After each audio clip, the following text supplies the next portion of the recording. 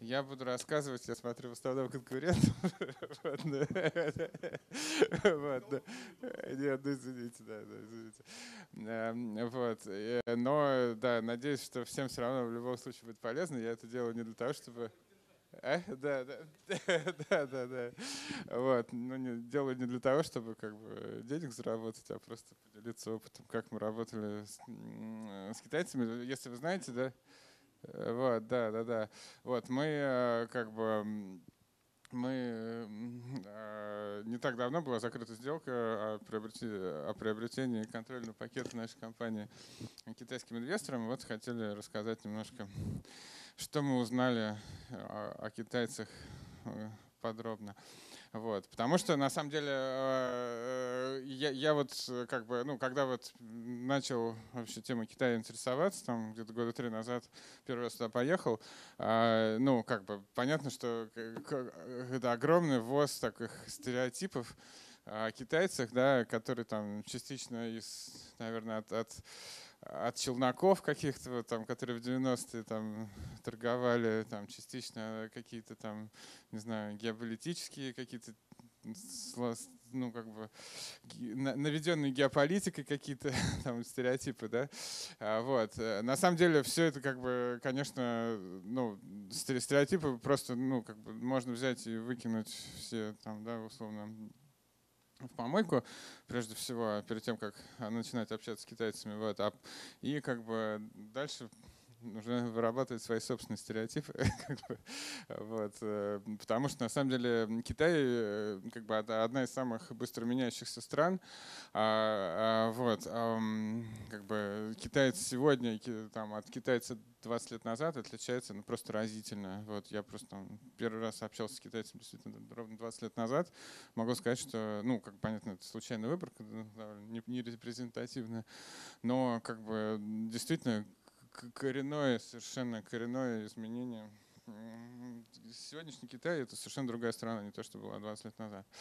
А вот. А, как бы, ну, собственно, Китай — это, это огромная экономика, огромное население. А вот. И что самое, может быть, важное для данной конференции, это огромный венчурный рынок. Вот. То есть э, а, как бы, который даже вот относительно ВВП больше, чем американский, в полтора раза получается. Да? Если вот видите, что 60% ВВП американского Китай сейчас составляет, и а, при этом венчурных инвестиций а, 92% а, от американских. Вот. Ну, то есть представьте себе, да, то есть люди, люди в полтора раза больше инвестируют в развитие, чем даже американцы, хотя вот мы все знаем, что американский венчурный рынок, рынок там перегрет, а, а, как бы, что там да, деньги можно поднять там, ну, почти, наверное, на все, если ты как бы правильно умеешь общаться с инвесторами. Ну, все говорят, что огромное. Я, это не мои слова, да, не мое мнение. Вот, э, если ты сидишь, ну, это мнение там многих людей, которые общались э, с, э, в Силиконовой долине, вот, что действительно огромный совершенно э, пузырь. Да? Вот представь себе, что этот пузырь еще в том, полтора раза больше. Вот. Ну, я, я не говорю, что это, ну, то есть, по, по мнению некоторых людей это пузырь, да, по, по, мнению, по мнению других это как бы совершенно нормальная история, что люди как бы действительно очень хотят расти и придумывают совершенно разные способы и очень много готовы инвестировать в рост. Да? К сожалению, это ну, у нас э, а, все, к сожалению, ровно наоборот. Да? То есть сами видите, что там 300 раз разница относительно российского венчурного рынка. То есть у нас, да, у нас там интернет развит больше, чем в Китае пока еще. У нас, э, ну, по количеству интернет-пользователей, у нас там даже ну, ВВП на душу населения пока еще чуть больше, вот, там, на, на 10%. А, но как бы в рост, э, ну, как бы, к сожалению, у нас э, не инвестируют на, на, на два порядка меньше, да, как бы, вот. А, ну и как бы, да, что может быть тоже важно для данной аудитории, что средняя зарплата китайского инженера-программиста уже, уже там, почти полтора раза выше, чем в России. А, вот, то есть а, для китайцев уже сейчас как бы имеет смысл переносить там какие-то разработческие ресурсы, открывать R&D-центры в России. Кстати, это ну, не, не абстрагируясь от нашего опыта, да, вот у Huawei в Москве огромный, там, ну, не знаю, огромный, нет, большой дата-центр, э, фу, большой, извините, R&D-центр, да, R&D-центр, вот, и там вся математика внутри Huawei разрабатывается у нас здесь, как бы, в России, потом нам же продается. А, вот, и как бы действительно сейчас китайские инженеры стоят очень дорого а, на местном рынке, и а, как бы всегда э, как бы многие, ну, как бы, китайцы думают о переносе R&D-центров многих компаний. А, вот. А, ну, конечно, все еще там ниже, чем в США. Это самое. А, а, средняя зарплата в Китае, понятно. Вот. Ну и как бы, да, резюмируя, китайский рынок а, огромный обладает огромным потенциалом, сравнимым с США, да, но почему-то как бы а, если вот можно назвать, не знаю, там сотню стартапов, там российских компаний, которые мечтают попасть на американский рынок, э, и вот не знаю ни одного, который, ну или там гораздо меньше, в общем, российских стартапов, которые э, пытаются выйти на китайский рынок. А, как бы я могу сказать, что вот по нашему опыту а, это зря. вот. То есть а, как бы мы дав давно уже начали работать с китайскими клиентами, они как бы прекрасно платят, прекрасно принимают решения, очень мало выносят мозг, как бы, потому что практически с нами не общаются, просто выписывают, э, как бы мы им выписываем счета, да, они их там оплачивают, вот, потому что, ну, они, ну, как бы очень хорошо умеют работать с информацией, если ты что-то написал, то, как бы, то они это прочитают и поймут, вот, скорее всего, если это нормально донес. А, и как бы, соответственно, а, ну и как вот вы знаете, мы получили положительный опыт работы с китайскими инвесторами. И, в общем, довольно, довольно быстро, на самом деле, по меркам таким венчурной индустрии закрыли сделку, то есть где-то за полгода. А, вот, а, хотя там как бы часто бывает, что там на год да, растягивают. В других странах там, а, с другими зарубежными инвесторами это обычно все эти сделки растягиваются там, на год, по крайней мере. А, вот. А, да, и как бы собственно, хотели вся эта презентация для того, чтобы поделиться опытом. Ну, что мы узнали о китайцах? А, я, мы, конечно, вообще очень много всего узнали о китайцев в плане бытовом, там, да, как у них э, очень много интересных вещей, например, то, что вот они а, вообще система ценностей несколько другая, да, вот. А для китайца, э, ну, немножко отвлекусь тогда.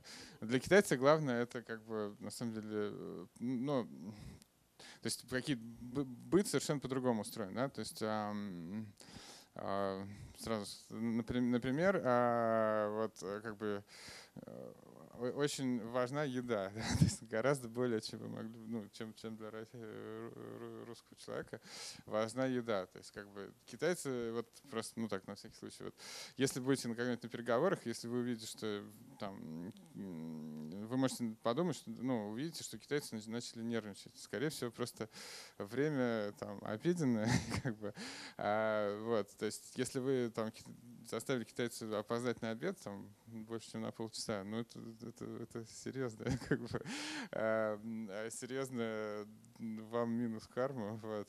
А, потому что как бы ну, обед должен быть вовремя и, вот, а, и как бы хорошим. Ну это так э, байка, да. А, на самом деле, да, барьеров, конечно, много. То есть а, а, Прежде всего, языковой барьер, он существенный, э, как бы в IT-среде, вот так, чтобы вот понять человека, понимать хорошо человека без там а, постоянного какого-то лазения в онлайн-переводчике или без, а, а, там, не знаю, без каких-то э, в общем, если вот, вот более-менее приемлемый, приемлемый английским владеет так, чтобы можно было общаться и именно устно, да, как бы. А, мы, мы встречались, э, ну, я, по моей оценке, где-то четверть китайцев вот, из IT-среды говорит по-английски достаточно, ну, достаточно, чтобы с ними можно было вот, нормально общаться каждый день. А, вот, ну, и быстро, и как бы без а, диких каких-то там объяснений. А, это, ну, как бы это надо просто принять, да, вот. А, конечно, да, чем, чем, чем моложе, чем более молодого представителя, чем человек более молодое поколение представляет, тем а, как бы он лучше, скорее всего, знает язык. Вот. А, ну вот даже вот наше поколение, там, не знаю, 40 лет, а, оно очень, ну, в общем, плохо говорит по-английски, за, за, за редким исключением. Вот. Как бы, ну, с этим надо жить. То есть э, я могу сказать, что для как бы общение с клиентами, это, в общем-то, даже не мешает, да, даже помогает, вот как я говорю, да, потому что меньше выноса мозга, достаточно написать э, очень хорошую английскую документацию, и как бы они ее, скорее всего, смогут прочитать, а, но документация именно что должна быть очень хорошая. Вот, то есть, как а, вот, если, если в ней написано все, что нужно знать человеку, то и достаточно информации, чтобы, а, чтобы понять, то ее прочитают, поймут и как бы будут применять. Если в ней недостаточно информации, если она требует дополнительных вопросов, ее просто там не смогут понять, выкинут и с вами общаться дальше не будут. Вот, то есть такой примерно опыт. Вот. Ну, следующий, понятно, да, культурный барьер, он тоже, ну, я уже говорил про еду, да, там, как бы, то есть э, система ценностей, в общем, довольно сильно отличается. Ну, я могу так сказать, что с другой стороны, э, она, конечно, отличается, вот, но, допустим, то есть мы, конечно, там ближе к западной системе ценностей, но, в общем, мы, мы все-таки где-то вот там на четверть от западной, да, там на три четверти от китайской системы ценностей, мне кажется, вот, и как бы, то есть нам китайцы понять проще, чем какой-то американцы или там, за, за, западноевропейцы. Вот. А, и как бы тут просто нужно вот, не знаю, тут универсальных у меня уже как бы рецептов нет, просто надо как бы убирать, убирать стереотипы и а, пытаться думать, как, как они, да, то есть что для них важно. То есть э, для них, например, ну вот, вот могу так сказать, что ходе там каких-то коммерческих э, историй, коммерческих переговоров, да, очень, очень хорошо работает аргумент там, это несправедливо, вот, то есть как бы там, справедливо так-то и так-то. Это, это, это, ну, это вот как бы такое, это, это, то, то, то есть не так важно там, не знаю, может быть, как для... То есть можно даже вот по одним и тем же условиям принципе. И они это делают, да, и как бы мы в ответ тоже там, да, там, можно, в принципе, там каким-то вещам передоговариваться там совершенно спокойно в процессе как бы, переговоров. Ну, то есть это такая не, это не, то есть если если что-то, э, то есть как бы время течет и со временем теч, меняетесь и вы и они, да, и как бы, то есть если вы о чем-то там, а, как бы, то есть пока не а, как бы в общем можно довольно а, спокойно обсуждать какие-то ну вещи а, и спокойно к этому относиться, главное, если они начинают обсуждать вещи, которые, о которых кажется, что вам кажется, что вы уже договорились, да, то есть нам просто главное, чтобы все время было справедливо, да, и для нас, и для них, и для нас, и для нас, и для вас, да, как бы вот, вот это самое главное, чтобы все время было ощущение справедливости, как бы. А, ну, ну, да, вот. А, ну и если дальше продолжать, да, регуляторные барьеры, конечно, очень ну, как, значительные, а, но они как бы защищают китайский рынок от внешних игроков, но с другой стороны, а, они, в общем, тоже преодолимы, вот, на мой взгляд. А, и как бы, а, то есть, если там, условно говоря, те, те регуляторные барьеры, которые есть в Китае, может быть, и даже легче преодолеть, чем там как огромнейшую конкуренцию, которая есть там на, в рынке штатов, на рынке штатов. Вот. То есть Прежде всего, о них можно, то есть это какие барьеры? Это интернет-сервисы должны иметь в Китае юрлицо, а, офис и лицензию ICP. То есть если у вас есть сайт, который работает внутри фаервола китайского, то вы должны как бы соответствовать этим критериям. А это, ну, в общем, решаемый, решаемый вопрос. Да? Это достаточно одного китайского, китайского представителя, который как бы распишется под этой лицензией ICP, и как бы если что-то случится, если вы, и, да, его, может быть, да, то есть как бы, ну, случиться может только то, что там какой-то политический контент или там какой-нибудь э, незаконный а в России, там во всем мире контент э, нехороший вот, будет выложен. Вот. То есть, в общем, как бы если вы ведете там понятный белый бизнес, там, как, например, это делают многие наши, э, ну, некоторые наши игровые компании, вот, там, ну, это ничего, то есть это не такой барьер, ради которого не стоит смотреть на рынок в 10 раз большего размера. Да? А, вот. А, как бы, понятно, что куча сервисов заблокирована, в основном там, западных, там, Google, Facebook, Telegram. А, как бы, ну, это так, да, то есть поэтому, в общем, там бурным цветом расцветают местные сервисы. И сейчас многие местные сервисы уже там по догнали и перегнали, да, там как бы аналогичные западные сервисы, взять тот же WeChat, вот, который гораздо больше сейчас возможностей, чем у каналов западных. А, вот, а, ну и там надо на всякий случай проверить, не закрыта ли отрасль для инвестиций. Например, телекоммуникационная отрасль закрыта для зарубежных инвесторов. Вот. А интернет, в общем, довольно спокойно. Интернет тут открытый. Вот. Ну, теперь вот те, те уже, как бы, как я уже говорил, да, те стереотипы, которые мы выработали в ходе а, общения с, китай, с китайскими коллегами. А, вот. Это вот, если кто знает, это Сунь Цзы, а, а, который жил две с половиной тысячи лет назад и написал трактат о войне. Вот. И а, на самом деле, ну, кстати, мое увлечение Китаем отчасти началось вот как раз с чтения этой книги. А, она прекрасно читается, и как бы я советую, если вот кто будет действительно работать с китайцами, почитать ее сначала, вот, чтобы немножко настроить свой мозг на, на, на китайский лад. А, вот. А, как бы как раз он очень много говорит о внезапности, о, о необходимости быстро принимать решения.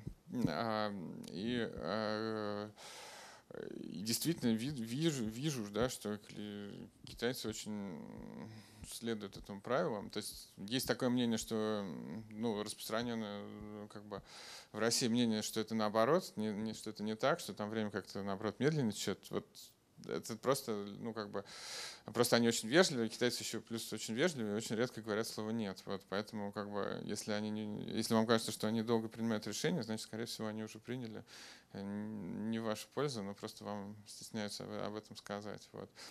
А, как бы, на самом деле, если ну, к правильному человеку попасть, э, то решение он, там, он примет ну, буквально быстро. А, если ему оно действительно интересно. Вот. И вообще, ну, есть такое еще, э, как бы, есть, э, ну, как бы, некоторые еще даже считают, что у китайцев есть такая психология волка, что если он видит какую-то а, что-то, что-то ему, что ему нужно, там, он хватает это как добычу, да, и убегает. Вот, то есть это действительно, ну, то есть э, могу с этим столкнуться первый раз, когда вот мы первого клиента у нас реально подклю, заняло день подключить первого клиента. То есть сегодня он, допустим, сегодня он пришел к нам на сайт, э, завтра он нам Э, завтра он протестировал, послезавтра он нам заплатил. То есть идеальный клиент. Да, как бы, и вообще не загружал ни нашу там, службу техподдержку, ни продавцов, ничего. Вот, вот, вот как бы главное просто аккуратно все описать. Вот. Ну, второй стереотип, который у нас появился, это то, что китайцы много и упорно работают. Когда-то я думал, что я сам вот много и упорно работаю.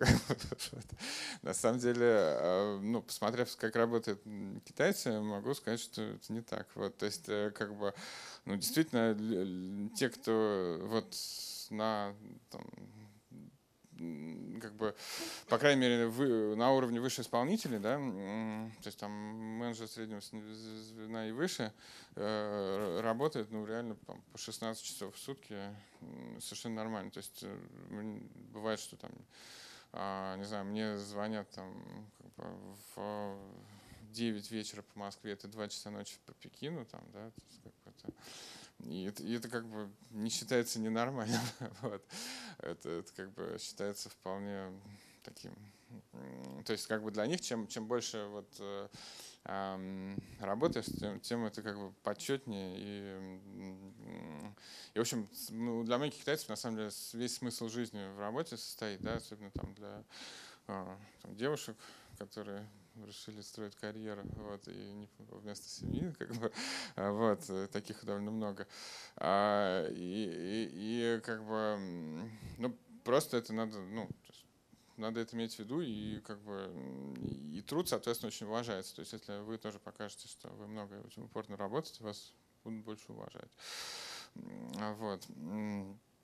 При этом, конечно, ну, тут нельзя не сказать, что, в общем, а больше всего китайцы, конечно, любят такие стандартные операции, как бы у них, э, то есть, э, как бы, не сказать, что вот прям креативный труд их очень радует, как бы. то есть э, им проще там, да, там делать что-то, вот, что они уже делали когда-то, ну вот. А, ну, в общем, ради этого они, наверное, и эм, обращать свои взоры на, на, на, на нас, а, чтобы какие-то вещи мы помогали креативно делать.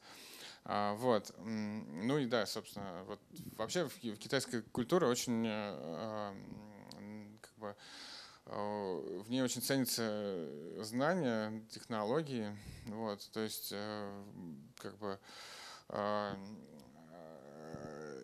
действительно, ну, многие, многие там обвиняют китайцев, китайцев в том, что они копируют, но это просто вот как бы ну, это, то есть это, это не то, что даже вот они мечтают украсть э, ваши знания и сделать их. Э, им просто очень нравится перенимать чужие знания, ну, здесь заработать много денег. Да? Им просто очень нравится а, перенимать чужие знания, да, там все, вот вся их как бы там письменность же, да, это, это как бы эм, ну, как бы представьте себе, вот, вот если вам пришлось бы каждый день писать э, 3000 иероглифов, э, да, там, использовать 3000 иероглифов ради того, чтобы там, писать, э, не знаю, какие-то простые письма по, по стандартным делам, а там, 20 тысяч иероглифов, если вам пришлось там более каких-то более отвлеченных тем беседовать.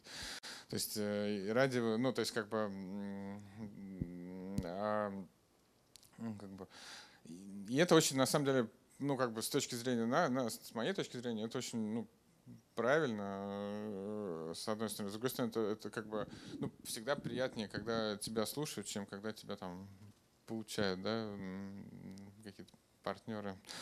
А, вот.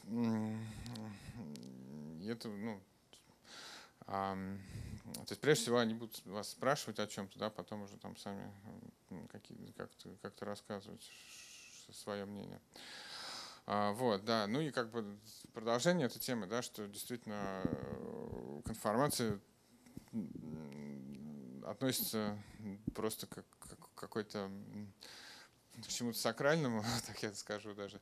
Вот, то есть и вообще нет фильтра между, ну как бы нет, нет, нету фильтра важное, неважное, да, вот все, что вы им дадите, вы знаете, что это будет прочитано, а, по много раз понято, да, там, вот. Я вспоминаю, как мы там да, давали какие-то свои документы на, на русском языке, там какие-то внутренние компании, вот, то есть реально люди там сидели, потом присылали нам э, ну, сканы документов, да, это какие-то вот, юридических документов. Потом нам присылали э, как бы вопрос, там, испещренные иероглифами там, обратно эти сканы там, и с вопросами, так, мы так поняли, или там, вот этот вот параграф, хотя это там 70-страничный документ внутренний, вот, э, как бы, вот, все 7 страниц были прочитаны тщательнейшим образом, и обсуждены, откомментированы. Вот, и пока, они, и пока не, они не поняли все семь страниц, там дальше дело не пошло. Поэтому то есть, тут некоторые, кстати, советуют в этом плане а, просто ну, немножко дозировать даже информацию, вот, которую вы выдаете, потому что ну, если вы не хотите э, просто феерии вопросов, как вот, нужно как бы немножко дозировать информацию. Вот. А, да, ну еще такая вот э, особенность, что поскольку они очень много пишут, да, как бы, то есть им, э, кстати, даже в Китае, да, на самом деле, несколько, довольно много языков в самом Китае, да, и некоторые китайцы между собой могут общаться только иероглифами, они не воспринимают друг друга на слух. А, вот. То есть есть, конечно, там официальный диалект пекинского, но внутри э, полно и местных диалектов, и ну, как бы а, а, вот, и, и там китайцы, китайцы часто может не понять, а, и понять только именно написав. Вот, поэтому, если вы хотите что-то объяснить китайцу, лучше напишите это на доске, на бумаге. А, вот, сразу пойдет совсем другое дело, потому что вот я поначалу сталкивался очень часто да, с такой ситуацией, когда там сказал один раз там как что-то, потом еще на всякий случай второй раз сказал, а потом, когда я там все-таки в третий раз э, там, на следующий день это там решил а, нарисовать, они, у них загораются глаза, и как бы э, удив, от удивления сказали, да, вот так вот. Вы нам об этом не говорили. а, просто действительно тут как бы визуально очень хорошо воспринимается информация. И вообще вот, э, да, такая еще родилась теория, что, вот представьте себе, ну, знаете, различия да, между TCP и UDP, вот как бы с китайцами нужно, должен обязательно TCP, то есть как бы, вот, не надо рассчитывать, ну, если там э, разница между там взаимоотношениями, ну, как бы общением с китайцами и с русскими, да, это как TCP и UDP, то есть каждый раз нужно переподтверждать там, правильность получения информации, ну, получения информации. Вот. А, но это, это, это совершенно не, не значит, что там, не, надо, не надо общаться, просто как бы а, можно, просто это как бы устраняет а, такой подход к общению, да, это, он устраняет многие ну, как бы многие проблемы с недопониманием, потому что если возникнет недопонимание, это самое худшее, что может быть. А, вот. Ну и как, да, там а, такой еще слайд, да, что э, действительно китайцы очень уважают российских инженеров, э, там еще с советских времен. У них, это, кстати, плакат, э, призывающий использовать российские достижения науки и техники.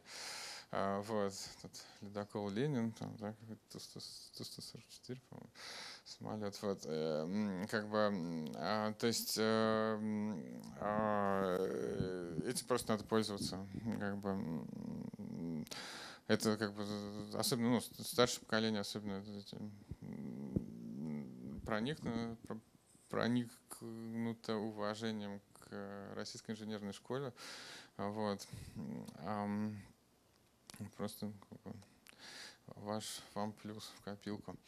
Вот. А, и как бы, да, ну на самом деле понятно, с одной стороны, что различия огромные, а с другой стороны, в общем, есть много общего, то, тоже, чем стоит пользоваться, да, там, вот.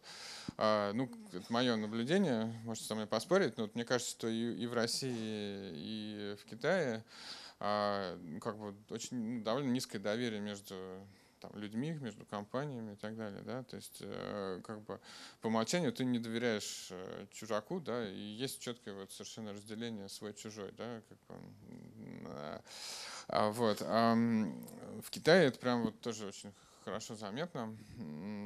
А, то есть одно дело там свой, да, другое дело чужой, который там можно обмануть там как-то и так далее. Вот. То есть э, даже вот, ну, пример совершенно такой случайный, да, то есть я когда там у своих коллег, своим коллегам сказал, что мне нужно купить там чай в подарок там, родителям там, и коллегам а, в Москву, вот, они меня повели, не сказали там, пойди купи там, там-то и там-то. Они сами меня повели в магазин, потому что как бы знали, что иначе ну, там, могут обмануть. Вот. Ну, то есть так, даже, ну, вот. То, то есть, как бы действительно, вот э, я думаю, что вот этот отрицательный опыт э, общения там с э, а, то, что как бы такое нелицеприятное иногда там у, наших коммерсантов отношения, ну как бы а мнение о китайцах, да, именно вот из-за этого, то есть что вот, как бы, их зачисляли в категорию чужих, вот, и как бы соответствующим образом относились. Вот.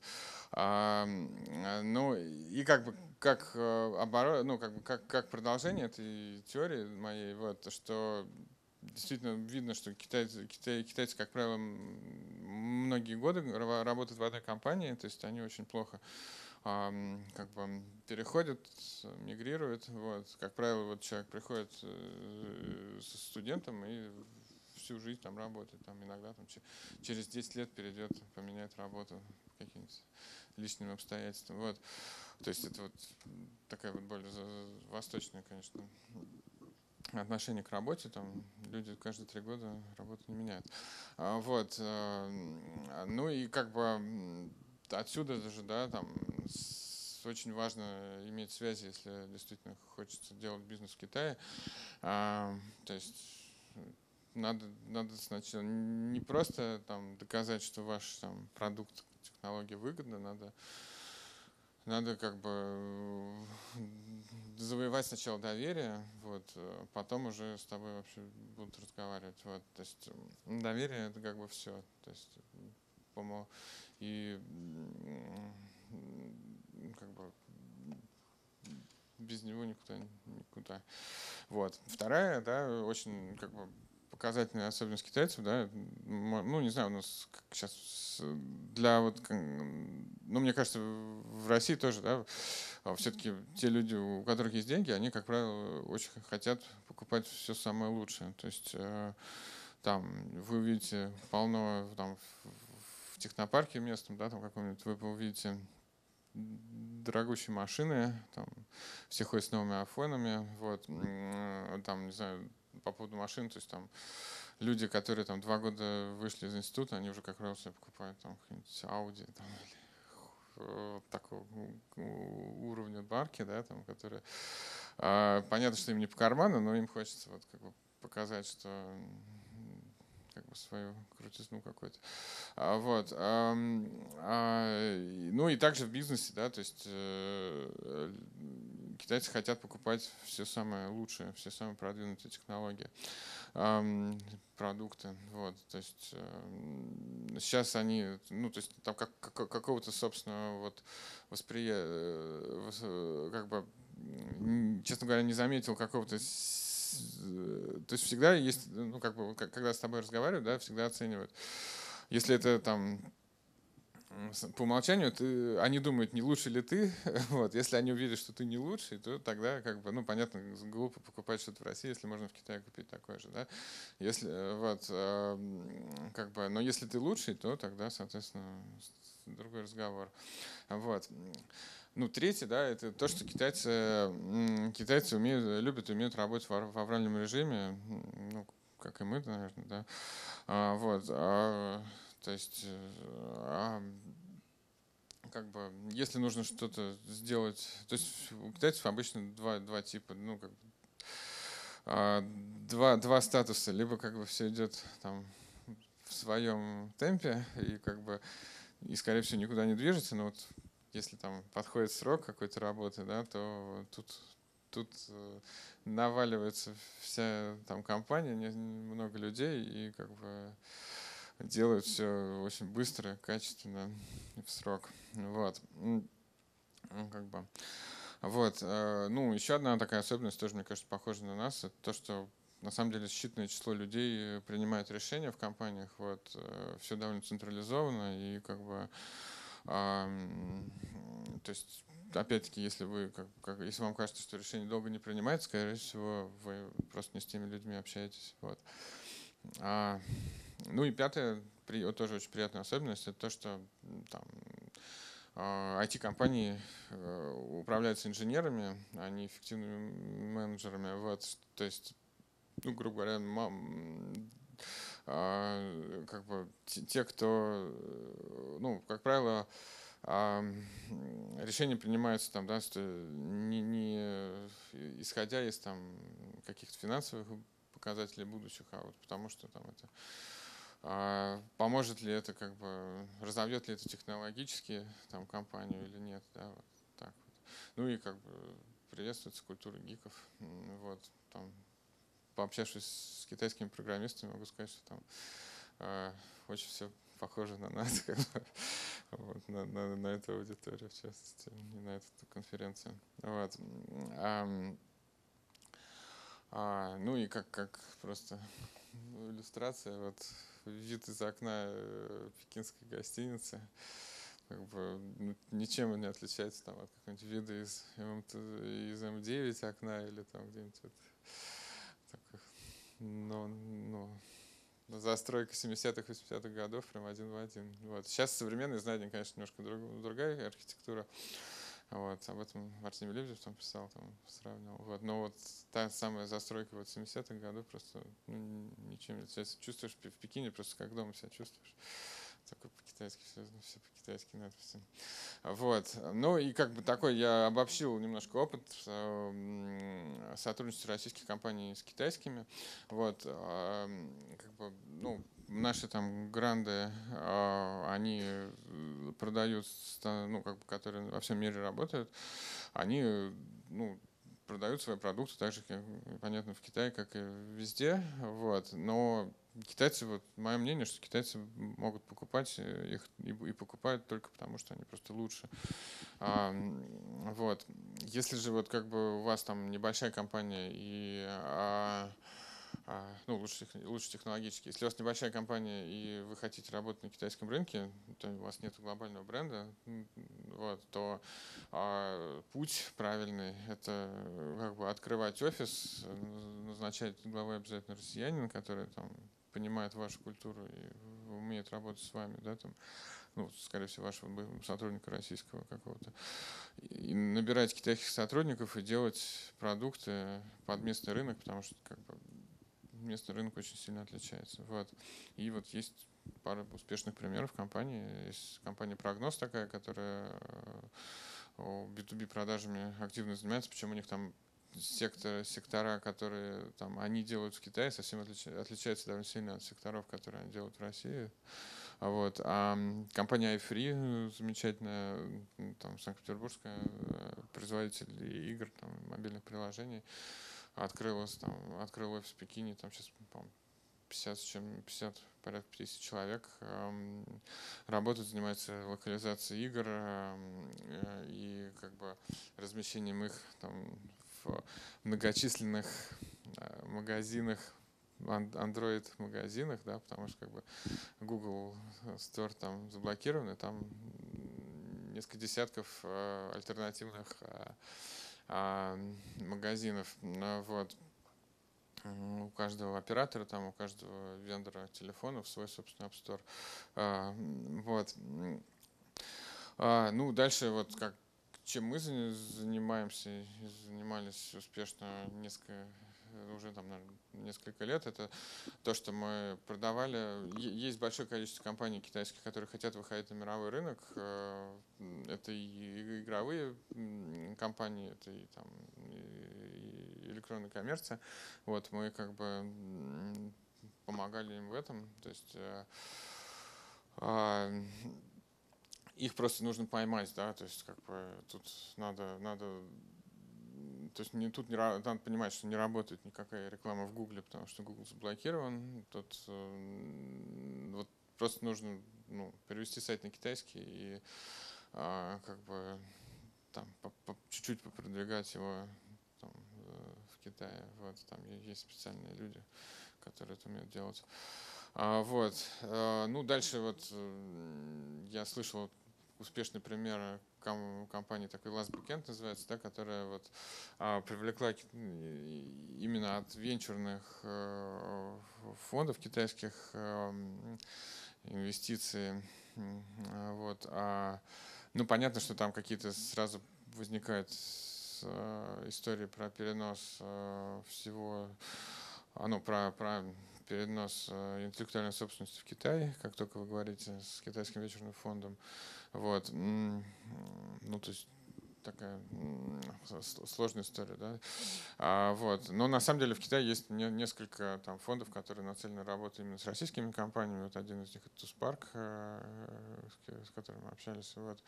Еще там парочка есть. А, вот. А, а, и плюс, а, не знаю, сейчас вот э, в прошлом году при Сколково появился российский китайский фонд. В этом году что-то с участием РВК будет запускаться. А, вот, а, ну, не знаю, как бы,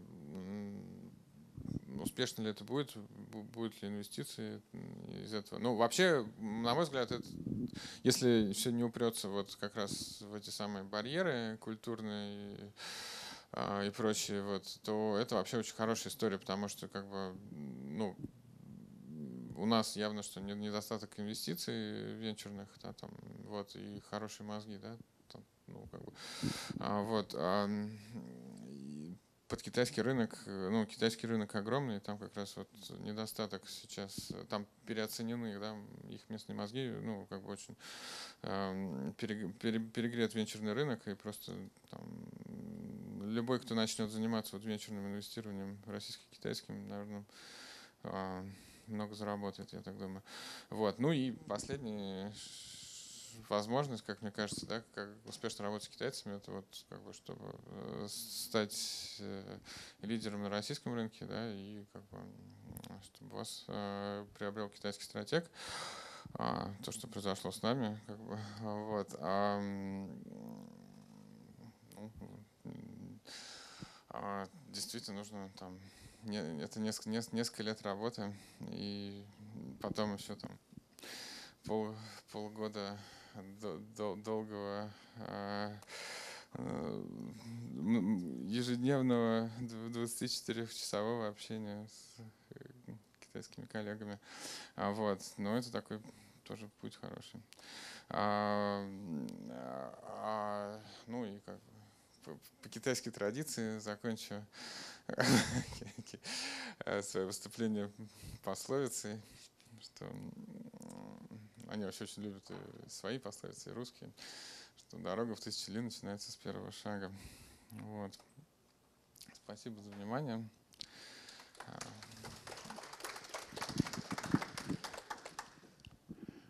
Вот, есть ли вопросы?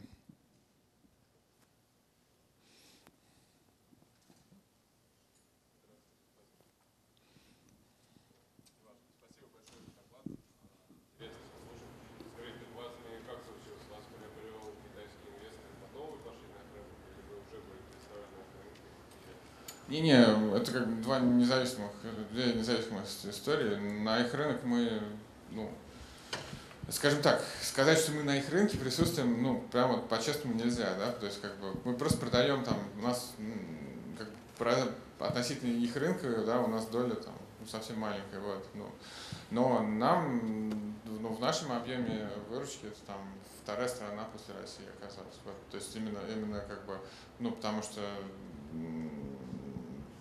вот эти вот несколько, несколько клиентов, которые у нас есть, э, это а, которые выходили с, с нашей помощью, получается, там, на российский мировой рынок, э, они как бы ну, делали довольно приличную нам выручку. Вот, и делают. Э, вот. Нет, это две разные истории. То есть мы китайским инвесторам были интересны именно как, как лидер России.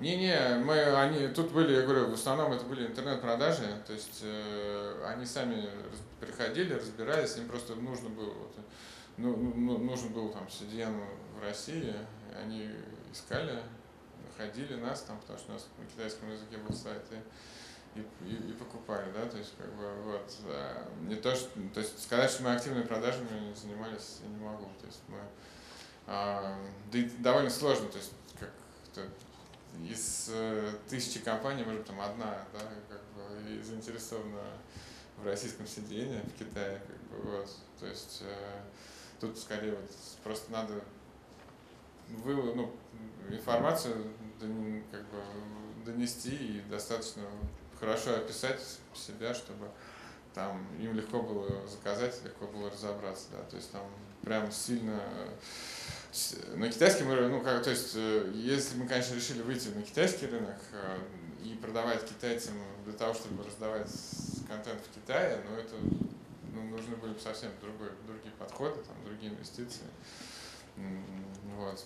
Но ну, я говорю, даже вот, вот это вот, э, да, даже то, что мы, в общем, сильно не, не занимались этой историей, просто вот чуть-чуть вложили там, в, такой, в легкий маркетинг и в, перевод сайта, это дало нам там больше, чем мы там, не знаю, зарабатываем в странах СНГ, там, да, как бы других, там, или там в... Хотя мы там довольно серьезно занимались там, Украиной, у нас даже украинский офис есть.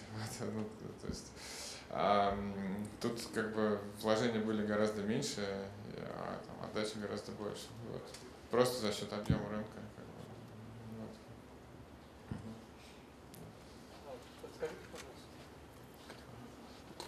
Здравствуйте, ну, спасибо за доклад. Подскажите, пожалуйста, а какие вот способы контекстной рекламы, где размещать контекстную рекламу в Китае, на каких площадках? И как вообще продвигать веб-сайты в Китае? Ну, Байду. Байду. Байду, да. И, ну, вообще, вообще в Китае э, СММ, ну, проще всего просто нанять агентство местное. Но надо, как бы, как это, э, чтобы они понимали, что вы свой, как бы, а не чужой. вот. Нет, есть э, русские агентства, на самом деле, как, как бы, которые там, ну, русскими людьми там основаны, которые там как бы работают с, э, с российскими компаниями и а, там продвигают их в Китае. То есть, ну, там, вот. А, а так, на самом деле, может быть, даже полезнее, чем сайт, страница в Вичате, как вот я, я сейчас понимаю. Вот. Но и сайт тоже, конечно, хорошая вещь просто страницу ведь создать недостаточно, не надо привлечь трафик в любом ну. Ну да, да, да, да, да, да, да, да, вот. Но это понятно, понятно. То есть это, я говорю, мы, мы э, то есть мы как продвигались, у нас был, была страница ну, на, на китайском, плюс то есть мы ее там как-то э, через, я говорю, ну, какой-то там небольшой контекст делали там, там нее вот. И и, в общем, все. То есть, и как на, на тематических конференциях там пару раз посвятили. Вот. На самом деле, там, там, там очень хорошо работает сарафанное радио. То есть, там, в общем, э, продать одному, и там все соседи тут же прибегут. То есть, как, вот, если им это надо, конечно. Вот, то есть, так. Спасибо. А есть какие-то есть ли какие-то конференции в китайские профессиональные, где можно там зная английский язык, например, выступить для китайцев и привлечь их таким образом?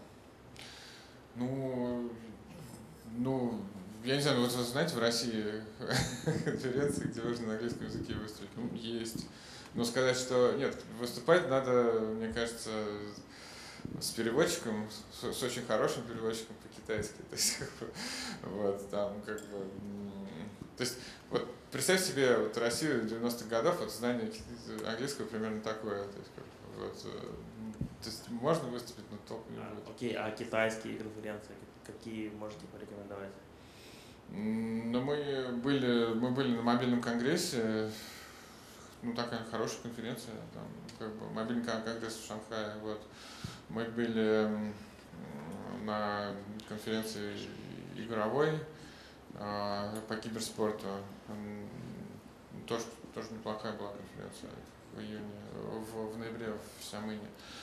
Вот. Спасибо. Угу. Еще? Ага. Я просто немножко хотела добавить к этому, к ответу да, вопрос. Да. Я знаю еще на Тайване есть конференция, называется Computex. Да, она была вот неделю назад. Да, да, да, да. Но это скорее, если вам нужно железо купить хорошего, там, дешевого. Вот. секция докладов там тоже есть. А? Секция докладов ну, маленькая там тоже есть. И на английском вполне себе хватит. Ярослав, два вопроса. А, первое. А, больше клиентов в клиентской базе, когда вот вышли на китайский рынок, это физические лица или юридические? И второй вопрос, есть ли какие-то законодательные, а, скажем, барьеры для юридических лиц при работе вот с российскими компаниями, продуктами и так далее? Я слышал, что есть какие-то у них тут такие вот вещи. Ну, в основном это были юридические лица, вот. А, барьеров, я не, насчет барьеров не знаю, на самом деле те юридические, ну, в основном были компании, которым интересен был зарубежный рынок. А, то есть, если китайской компании зарубеж... интересен зарубежный рынок, то, скорее всего, у нее есть там, офшор в Гонконге, вот. А у, в Гонконге уже точно нет никаких барьеров, вот. То есть, как бы, там можно оттуда даже в рублях деньги получать совершенно спокойно, вот. То есть, э, как бы, я говорю, мы продавали только тем, кто за, за рубеж стремится, вот, и с ними проблем никаких, вот. Как правило, платили нам из Гонконга, да, вот. Ну, я правильно понимаю, что как бы доля китайских клиентов, которые продвигают какие-то там свои вещи через ваш CDN, а, она как бы на внутренний китайский рынок распространена, да, то есть, а именно на российский, как бы, на российских пользователей это в меньшей доле распространяется. Основной, основной интерес – это выйти на рынок и работать э, с, как бы, с китайскими игроками, с китайскими пользователями, которые как бы внутри себя там на рынке варятся, там что-то предлагают. Я говорю, это, это очень сложно. И это оценивали это как-то вот э, статистику какую-то, понимали как бы долю какого рынка вот эти пользователи ну, ваши, как бы даже клиенты пытаются как бы себе. Китайский рынок CDN равен, ну, вот это там, примерно миллиард долларов представьте, рынок миллиард долларов, ну, сколько нужно туда, ну, как бы, зайти, проинвестировать, чтобы хоть какую-то долю приличную получить. Плюс, скорее всего, вас просто туда не пустят, потому что там э, он закрыт, э, ну, как телекоммуникационная отрасль, она закрыта. Вот. Ну, то есть, э, короче, туда попасть, вот, но, но тем не менее, я говорю, вот есть компании, которые заходят, но я говорю, для этого уже нужно совсем другие инвестиции, то есть нужно открывать офис, нужно нанимать китайцев, и тогда ну, шанс есть продать китайцам для, ради китайского бизнеса что-то. Ну, уже нормальная история. Угу. То есть я правильно понял, китайской инфраструктуры в материковом Китае у вас нету? А у нас, э, ну, наших партнеров, вот, э, которые, ну, как бы, наших инвесторов есть, можно обращаться, мы как бы с удовольствием с вами поработаем. Вот. А у нас самих, да, нет. ну, как бы у нас, у нас в нашей родительской компании есть. Ну, я хотел вот добавить, как бы, да, как представитель операторского, в том числе рынка, ну, если как бы кто не в курсе, да, то есть в Китае есть такой большой оператор China Telecom. А если мы говорим с вами о том, что вы хотите какой-то построить канал туда, как бы, да, то есть у вас на самом деле не очень много дорог и путей, как, как это сделать, да, есть, ну вот там, да, там Транстелеком, там, там еще там кто-нибудь еще там, да, то есть есть всего, я, насколько знаю, два перехода, один это во Владике, да, где Транстелеком имеет переход в Китай и доходит до Пекина, там у них есть узел, второй переход где-то вот в районе там Байкала, Хабаровска, где-то там вот, вот где-то вот, и, ну, еще стандартный способ, это вы заходите, переходите там в Чинотелеком в Анкотеле, да, где они присутствуют, на том же Десиксе и так далее. То есть как-то так. Либо, либо вы там с ними стыкуетесь напрямую, как бы, да, и что-то там уже попадаете в китайскую сеть, там что-то уже делаете, как бы других вариантов а, нет. То есть вот правильно Ярослав сказал, то есть уже либо надо искать там внутри оператора, который уже имеет там сеть там, и на его ресурсах развивать, строить там какую-то сетевую инфраструктуру. Еще вопросы? Коллеги, я еще, можно минутку рекламы? То есть, на самом деле, не знаю, если есть, э, ну, во-первых, да, во-первых, у нас есть прекрасная возможность э, и в Китае делать там, это не только CDN, но и там и хостинг, и, и, и так далее. Вот. А плюс есть теперь, да, после сделки. Плюс мы сейчас активно ищем э, программистов. Вот, мы как бы а, делаем здесь R&D центр, а, так что welcome, если есть у кого-то интерес. Спасибо большое.